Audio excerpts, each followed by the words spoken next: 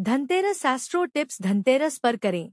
ये सात ज्योतिष उपाय, कभी नहीं होगी पैसों की कमी धनतेरस, धनत्रयोदशी, का त्योहार लक्ष्मी जी की कृपा पाने और जीवन में समृद्धि को आकर्षित करने का शुभ अवसर है।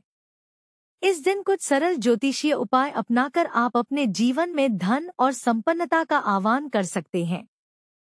यहाँ धनतेरस 2024 पर पाँच विशेष ज्योतिषीय उपाय दिए गए हैं। एक लक्ष्मी पूजन के साथ कुबेर मंत्र का जाप धनतेरस के दिन माता लक्ष्मी और भगवान कुबेर की पूजा का विशेष महत्व है। लक्ष्मी पूजन के साथ कुबेर मंत्र, श्री हरि क्ली श्री सिद्ध लक्ष्मय नमः, का 108 बार जाप करने से घर में धन की बरकत होती है। दो, कुबेर यंत्र की स्थापना, इस दिन कुबेर यंत्र को घर के पूजा स्थल में स्थापित करना शुभ माना जाता है। इसे स्थापित करने के बाद नियमित रूप से इसकी पूजा करें। यह यंत्र धन की वृद्धि और स्थिरता को आकर्षित करता है। तीन, घर के मुख्य दरवाजे पर तेल का दीपक जलाए। धनतेरस की शाम को मुख्य दरवाजे पर सरसों के तेल का दीपक जलाने से नकारात्मक ऊर्जा समाप्त होती है और घर में सकारात्मक ऊर्जा का संचार होता है।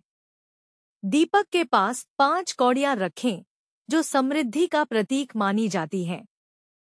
चार, हल्दी और चावल से स्वस्तिक बनाएँ घर के मुख्य दरवाजे पर हल्दी और चावल से स्वस्तिक बनाना शुभ होता है। यह घर में सुख समृद्धि और सकारात्मकता का प्रतीक माना जाता है और इसे लक्ष्मी जी के स्वागत के रूप में देखा जाता है।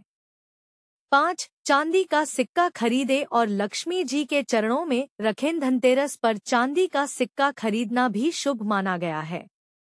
इसे लक्ष्मी जी के चरणों में रखकर पूजा करें और इसे अपनी तिजोरी में रखें। यह उपाय धन वृद्धि और आर्थिक स्थिरता लाने में सहायक होता है। छह, तुलसी या अशोक का पेड़ लगाएँ। धनतेरस पर तुलसी या अशोक का पेड़ लगाने से समृद्धि, स्वास्थ्य और आध्यात्मिक विकास होता है। तुलसी देवी लक्ष्मी के आशीर्वाद को आकर्षित करती है। जबकि अशोक नकारात्मक ऊर्जा को दूर रखता है। सात जरूरतमंदों को दान दिन धनतेरस के दिन जरूरतमंदों को दान करने से समृद्धि और धन की प्राप्ति होती है।